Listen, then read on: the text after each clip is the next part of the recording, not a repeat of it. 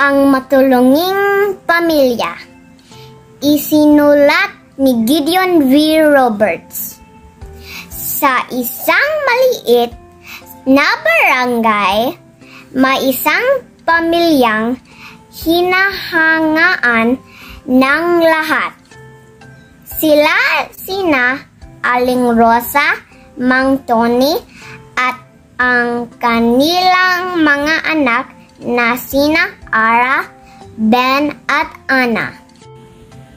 Pagtatanim sa bukid ang kanilang pangunahing ikinabubuhay, masisipag at matitiyaga ang buong mag-anak.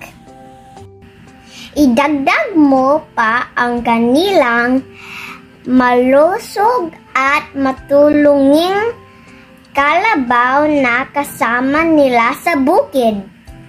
Linggo-linggo ay umani sila ng mga gulay at prutas na inilalagay nila sa malaking kaing. Isang araw, habang nanood sila ng balita sa kanilang luma at maliit na telebisyon. Nakita nila ang mahabang pila ng mga tao na kumukuha ng tulong at donasyon. Nakaramdam sila ng awa sa mga taong nakararanas ng gutom dahil sa epekto ng pandemya. Dahil dito, nagpasya ang mag-anak na magpunta sa tagapan ng kanilang barangay upang magbigay ng tulong.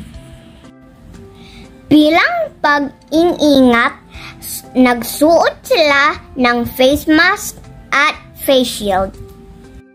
Inihatid nila ang kaing-kaing na gulay at prutas na kanilang inani mula sa kanilang bukid.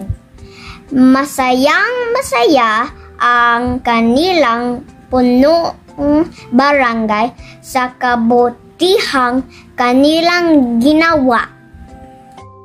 Ito ang mga salita na naglalarawan o pag-uri mula sa kwento. Maliit, masipag, matiyaga, malusog, matulungin, malaki, luma, mahaba. Paglalarawan mula sa kwento.